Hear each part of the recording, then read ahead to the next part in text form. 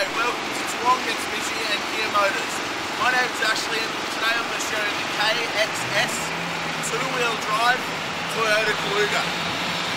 As you can see with the Toyota Kluger it's fitted with your fog lights as standard and it's also got your nudge bar, 19 inch alloy wheels.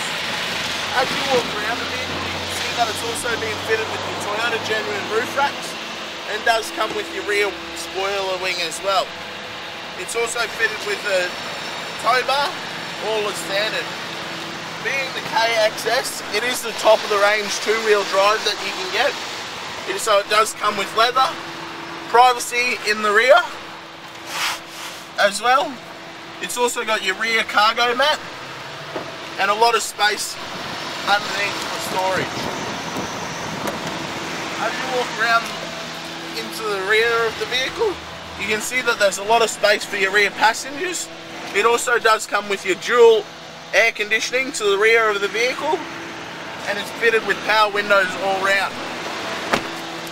As you have a seat in the driver's seat, you can see that the vehicle is also fitted with lumbar support, which is electrically controlled, as well as all your seat controls. It is also fitted with your air conditioning controls on your steering wheel, and radio controls as well.